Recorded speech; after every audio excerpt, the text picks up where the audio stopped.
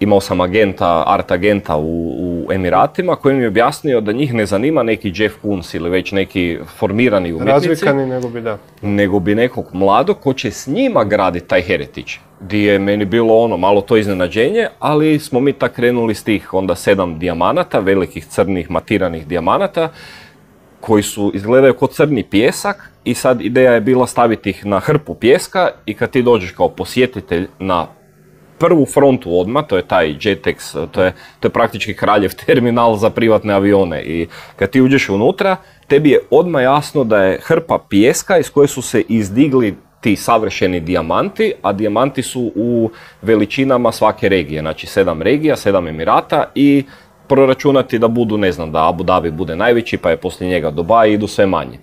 I tebi je odmah jasno taj pjesak, pritisak, e, crnilo, sve je to kaj njih sagradilo u tih 50 godina da oni postanu danas najveća, najveća trgovina na svijetu. Ono, u, I tak smo krenuli u početku, to se ekipi dolje dopalo kao neki omaž njihovom e, narativu, njihovoj priči i onda sam ja lagano krenuo dodavati nutra one mrežaste stvari jer te moje mrežaste stvari koje su abstraktne jako odgovaraju njihovim, njihovoj geometriji. Samo su moje dosta nepravilne, a njihove su jako pravilne. I to se negdje miješa.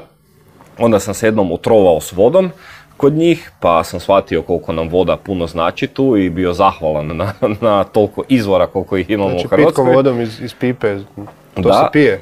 To, a ne, ne bi se trebalo. Ne bi se trebalo, da. I, I kad sam se vratio doma, ja mislim da sam već treću kapljicu napravio. Kapljica je jedan ogromni rad od 2,5 metra sa valovima, od šipki zavarenih.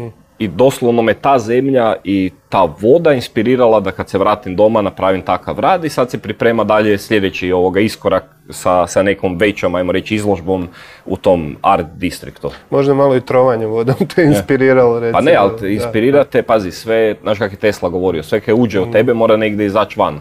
Sve informacije koje, koje ulaze u tebe ti moraš izbaciti van bilo kroz eh, koji god je tvoj životni put, bilo da si strojar ili umjetnik, razmišljaš, ulazi i izlazi, ti si transformator energije, jel? I onda dođe sin Cristiano Ronaldo.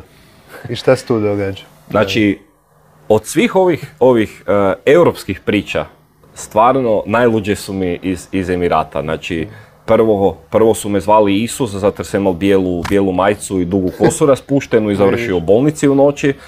Onda nakon toga e, sam morao ići u, ne znam, u šestu jutro ili petu jutro je bilo, kad sam morao krenuti za Dubai, popraviti dijamante, jer je bio je COP28 veliki summit climate change i dan poslije, dan nakon su dolazili i papa i kralj i svi, naravno tu nemaš pristupa, tu si ono, nemate, tu si u Hrvatskoj, si, ne, ne, nisi, nisi dio te priče, ali ekipa dolazi, to sad sve mora biti perfektno, a par dana prije ili dva dana prije, e, kak svi private jetovi dolaze na, na taj prostor, neki klinac je došao i stao na jedan od tih dijamanta da on proba kako je to, jel?